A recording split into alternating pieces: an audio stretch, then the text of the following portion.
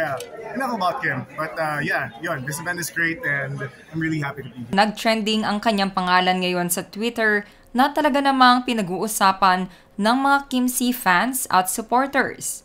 Tahasan na din na ipinakita ni Sian Lim na pinagbubura na niyang lahat ang mga videos at vlogs nila ni Kim Chu sa kanyang social media account.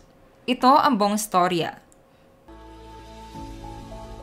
Lumutang nga ang huling interview ni Sian ilang buwan bago pumutok ang balitang hiwalay na sila ni Kim Chu.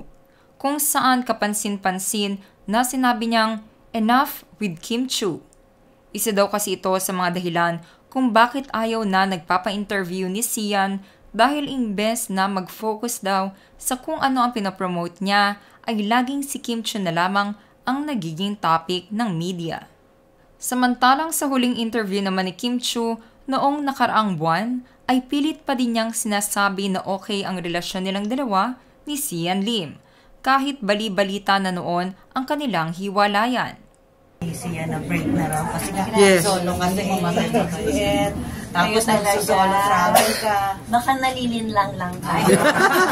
pero pero ano okay naman kay Nancy. Very strong.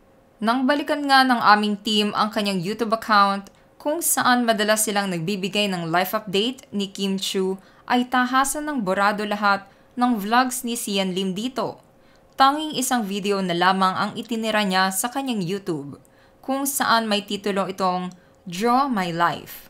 Samantalang sa shorts videos naman niya ay may dalawang shorts ang mapapanood kung saan nakalagay na Play the Fool at isa ay The Secret of Life. Just enjoy the ride. Sa community post naman niya ay walang bakas ng Kim Si post at ng aktres na si Kim Chu ang makikita at mapapanood dito. Sa ngayon nga ay puro solo photos and videos na lamang ang pinopost ni Kim Chu sa kanyang social media account. Halos lahat dito ay work-related na lamang kasama ng kanyang mga endorsements sa iba't ibang brands pati na din ang mga latest na mga trabaho niya ngayon sa ABS-CBN. Nang i-check ng aming team kung kailan ang huling post niya, nakasama si Sian Lim ay noong July pa pala, nang pumunta sila sa Hong Kong at kasama din ito sa vlog ni Kim Chu. Kapansin-pansin din ang pagiging emosyonal ni Kim Chu kapag nasa set ng It's Showtime at napag-uusapan ang mga hiwalayan at breakup topics sa showbiz hindi man ito sinasagot ng derechahan na hiwalay na sila ni Sian Lim, ay makikita naman ito sa galaw nilang dalawa. Chinek din ng Showbiz Philippines team kung fina-follow pa ba ni Sian Lim si Kim Chu dahil sa pagbura nito ng kanilang mga vlogs.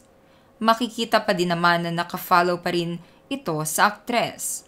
Makikita din dito na halos solo photos na lamang ang nakapost sa kanyang IG account at tulad ni Kim ay mostly work-related ang mga makikita dito, kasama ng mga brands na kanyang ine-endorso sa ngayon.